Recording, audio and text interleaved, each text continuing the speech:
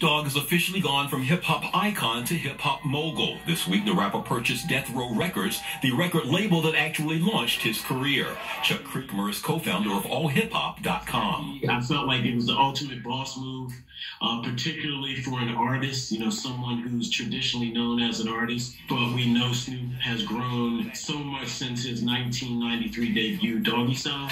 Death Row is the label that the label was founded in 1992 by Suge Knight and Dr. Dre, among others. It would be Dre's critically acclaimed album, The Chronic, released that same year, that put Death Row on the music industry map, introducing the world to the sights and sounds of South LA, which Creekmur says may be its greatest legacy. The low riders and the streets of South Central California, and all of that was really injected into the music. There was even a bit of a political side, you know. Remember the LA riots and all this strife was going on in the So they captured a lot of that in the music.